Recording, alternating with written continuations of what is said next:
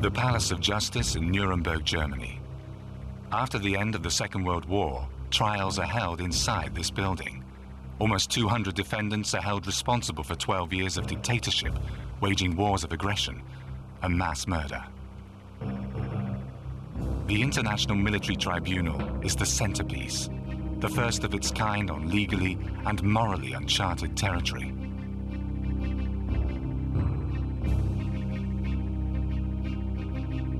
On November the 20th, 1945, 20 surviving leaders of Hitler's Third Reich are transported by elevator directly from the prison block into the courtroom. Hermann Goering, Hitler's designated successor, is the highest ranking defendant, the face of Nazism. Goering said, Everybody knows this whole trial is not a trial. This is just an arrangement where the victors uh, will take revenge on the defeated. The tribunal charges fanatical ideologists and unscrupulous ministers, infamous propagandists, and merciless generals. The defendants never showed the slightest remorse.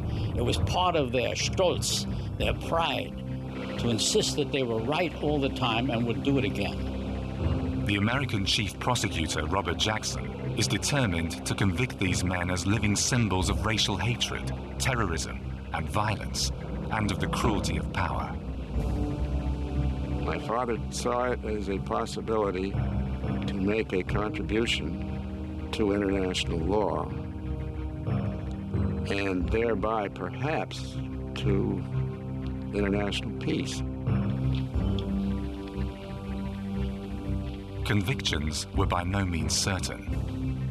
You must put no man on trial, Justice Jackson has warned, if you are not willing to see him freed if not proved guilty. In the Nuremberg courtroom, before the eyes of the world, the victorious Allies attempt to stay the hand of vengeance and follow a difficult and uncertain path to justice. Against the peace of the world imposes a grave responsibility that four great nations, flushed with victory and stung with injury, stay the hand of vengeance and voluntarily submit their captive enemies to the judgment of the law is one of the most significant tributes that power has ever paid to reason. Etwas.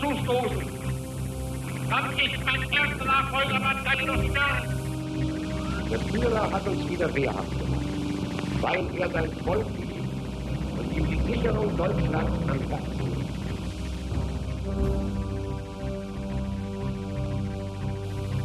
You must plead guilty or not guilty. Bekenne mich im Sinne der Anklage nicht schuldig.